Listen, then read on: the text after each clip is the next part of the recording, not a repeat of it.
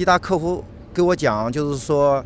呃，你被封禁了。他给我讲，他说因为你身体原因，他没有给我讲具体什么原因。现在我驾驶证、我的资格证，我正常营运出租车，又开了好几年了，那这也没什么，也没什么事啊。你从哪里渠道得到说我身体原因不能开车？再一个来讲，你封我的这个封封我的那个滴答软件，你为什么没有通知我？张师傅说，二零二二年四月，他最后一次用滴答接单，什么时候被封号他不知道。最近他想继续跑滴答，才发现被封号了。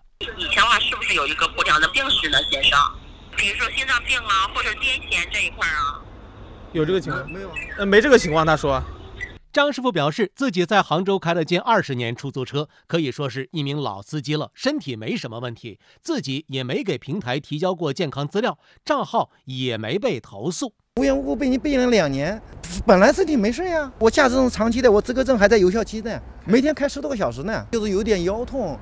驾驶证、行驶证还有车辆信息，我们都可以核实到。哦，这个可以核实到健康信息是吧？对，我们可以核实到先生。现在会马上把这个情况交给咱们专员处理的。我被你诅咒两年，我有病，我心里很窝火。最起码你先给我道歉。晚些时候，张师傅反馈平台方面联系了他，说是乌龙，让他再提交驾驶证等材料审核。幺八八黄建记者报道。